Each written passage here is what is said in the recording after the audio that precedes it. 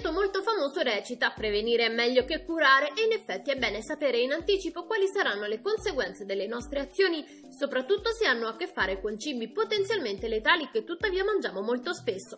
Una serie di alimenti tutto sommato quotidiani e facili da trovare in effetti sono estremamente pericolosi se ingeriti non adeguatamente o in quantità eccessive.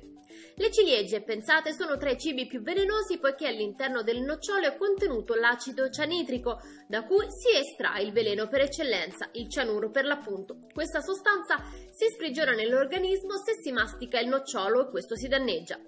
Occhio anche alle mele, nonostante si dica che uno al giorno toglie il medico di torno. Proprio come le ciliegie, i semini di mela contengono l'estratto da cui si estrae il cianuro, dunque se ingeriti a manciate possono rivelarsi fatali.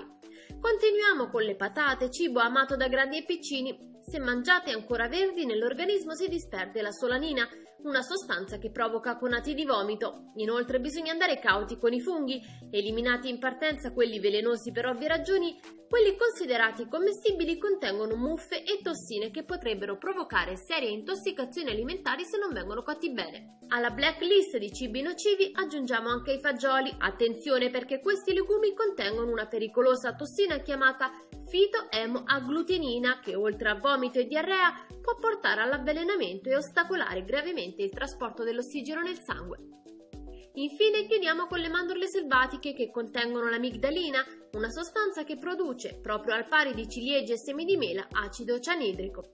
Insomma, per restare in tema di detti proverbi, uomo avvisato, mezzo salvato.